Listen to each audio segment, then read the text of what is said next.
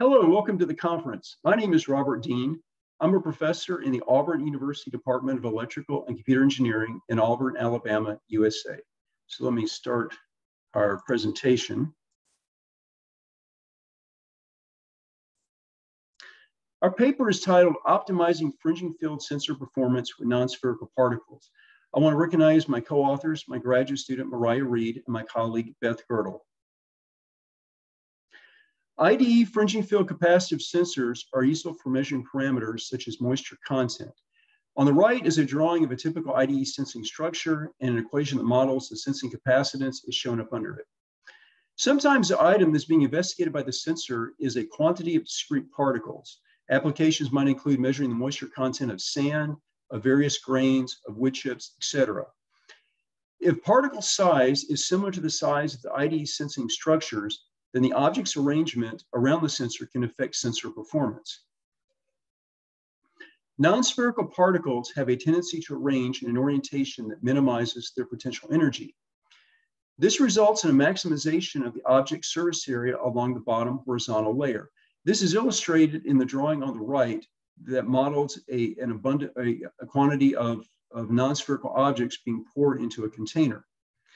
Our modeling predicted that optimal sensor performance could be achieved when the sensor is in contact with the maximum amount of object surface area, and that tends to occur at the bottom horizontal plane of the container of objects. Capacitive fringing field sensors have been used to measure the moisture content of corn kernels. Corn kernels, as shown in the, in the photograph of a corn kernel on the right, are highly non-spherical and, and come in a wide variety of shapes and sizes. Our model predicted that a horizontally mounted capacitive fringing field sensor could be 1.36 times more sensitive than when it was mounted vertically. To investigate this, we developed a, a capacitive fringing field sensor and printed circuit board technology. Um, as shown in the photograph of the sensor on the right. The IDE sensing structure is shown in the white square on the right of the sensor photograph. It consisted of an IDE with 83 electrode pairs Reach um, IDE tooth is 152.4 microns wide. A gap of 304.8 microns existed between adjacent IDE teeth in each pair.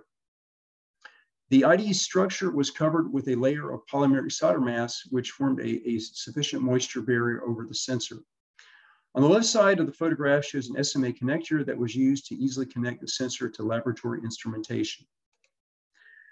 On this slide, the, the test data is presented. On the right, there is a plot of the change in sensor capacitance versus moisture content uh, for the case when the sensor was mounted horizontally at the bottom of a beaker of corn kernels, and also when it was mounted vertically on the side of the beaker of corn kernels. Uh, for this test, we evaluated the sensor both horizontally and vertically in corn kernels that had a moisture content that ranged from 10.63% to 29.27%.